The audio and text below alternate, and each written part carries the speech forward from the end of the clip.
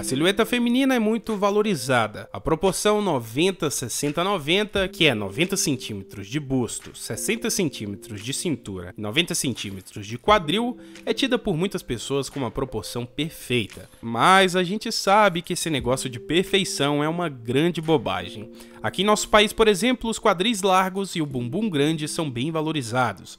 Mas o maior quadril do mundo não é brasileiro, e sim de uma americana chamada Mikel Ruffinelli.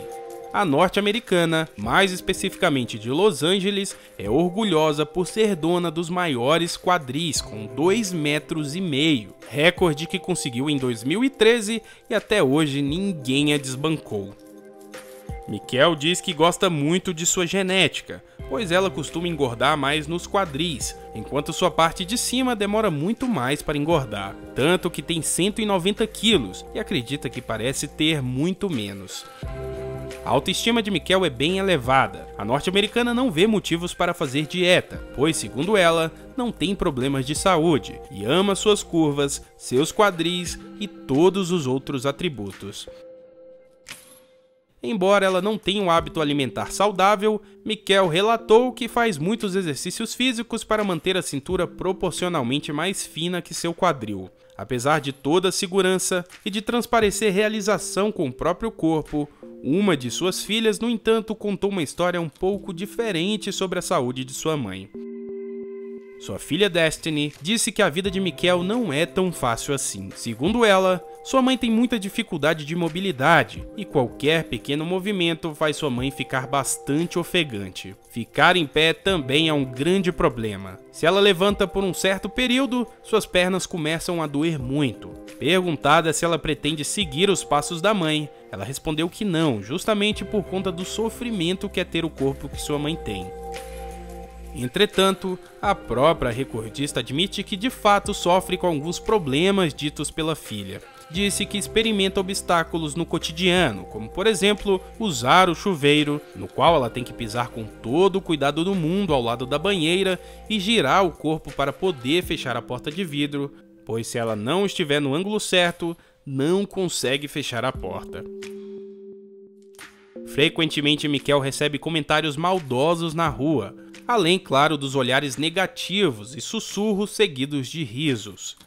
Algumas pessoas chegam ao ápice da falta de educação e tiram fotos e gravam vídeos sem sua permissão.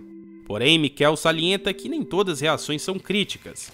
Isso porque ela afirma que muitos homens se sentem atraídos por seu corpo. Segundo ela, os homens não gostam das garotas magras, por isso prefere ser desse tamanho mesmo, pois é assim que se sente feliz e se ama. O marido dela, Reggie, a incentiva a manter o corpo. Ele adora mulheres avantajadas e sempre quando alguém fala sobre o peso de sua esposa, ele diz que tem especialização para trabalhar com equipamentos pesados. E a dela sem graça que ele conta bem longe de sua esposa. Embora seja um recorde incomum, a norte-americana já foi ameaçada de perdê-lo duas vezes. A primeira vez foi em 2016, pela também americana Bob Joe Wesley. A mulher tem 43 anos e é modelo plus size. Seu quadril mede 2 metros e 30 e ela ficou obcecada para entrar no livro dos recordes, mesmo com contraindicação médica. Até o momento não alcançou Mikkel.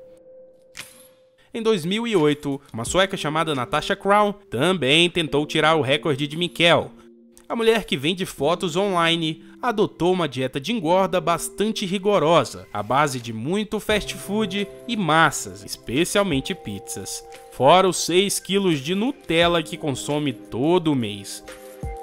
Até agora ela conseguiu chegar a 2 metros de quadril, mas ainda está longe da recordista mundial.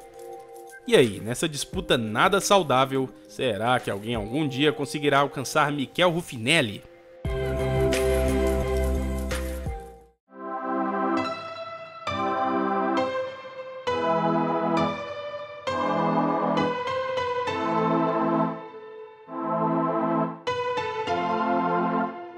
Bye.